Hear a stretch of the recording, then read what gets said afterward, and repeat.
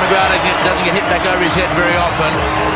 But that's the style of Nathan Astle. The bottom hand player backs himself, good judgment and good shot selection.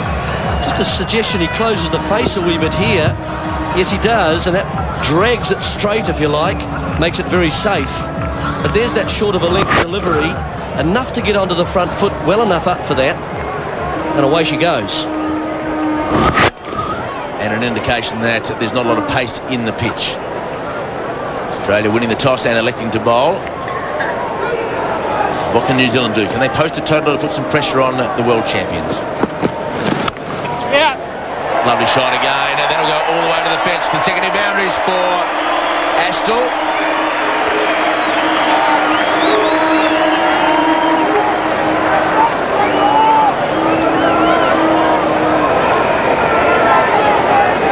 Well, let's see if this is width. It's certainly short enough. Maybe an overcorrection by McGrath. It's enabled Astle to get away. Well, it's not that wide, really. It's a good stroke. Played on length.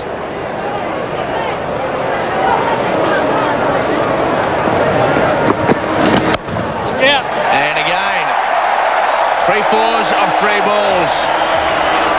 So McGrath, who's normally so accurate with length and line, just straying, and he's saying, I can't believe it. It's 22 for one.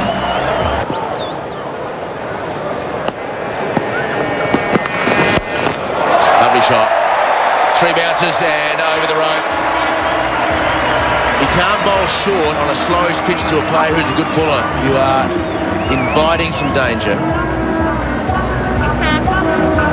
Yes, well, he's already had one short, tried to get this one, and he's really just paddled it round there, getting it over the man just behind square.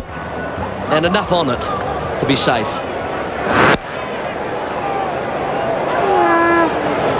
For the Andre Agassi topspin cross-court forehand. And there's no danger to run on that one. So Astle has shown his intention.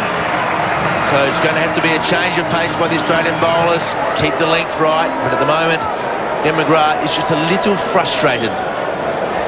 Yes, I don't think Glenn likes this pitch much. But certainly Astle's enjoying anything that's pitched up around about off stump.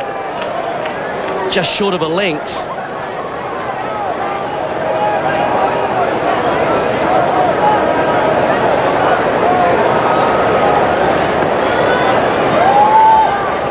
Second slip has gone to short cover.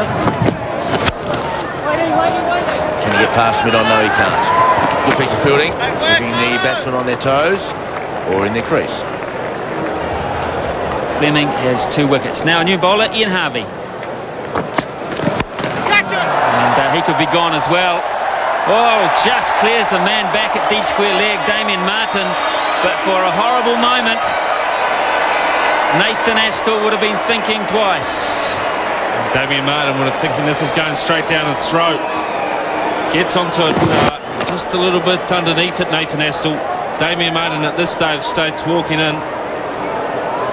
Well, it was all fairly close stuff. He's in there probably about uh, a metre.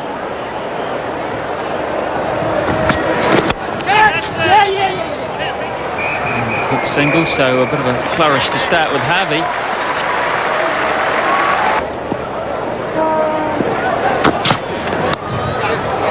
Slipped, so gone, long gone. McGrath can't stop it. So another boundary for Nathan Astle. New Zealand now going along quite nicely. It's pretty wide, Glenn McGrath down in third man. And Nathan Astle gets uh, a good thick edge. Times his dive to perfection, Glenn McGrath. Just uh, couldn't quite get the right hand on it. Something about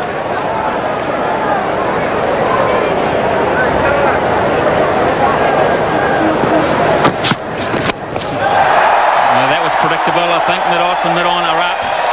And Astle has smashed it a long way back.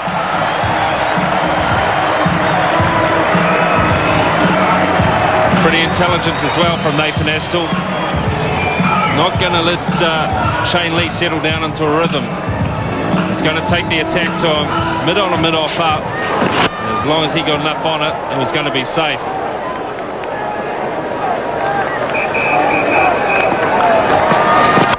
In the air and wide of Shane Warne at cover.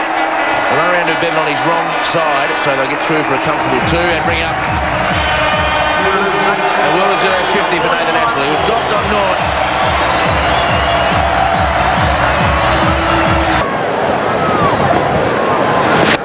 And over extra cover. Lovely shot. Got inside out and one bounce over the rope. Might have been worried for a while, Nathan Astle. The air and past Adam Gilchrist for four. Not a catch, not a chance. And a pretty well-educated shot. Perhaps a little too close to the keeper for comfort, but Glenn McGrath walks back and says, another boundary. Still on 99. And there it is. The crowd here in Napier. Get to their feet. Astle has one day international 100, number eight.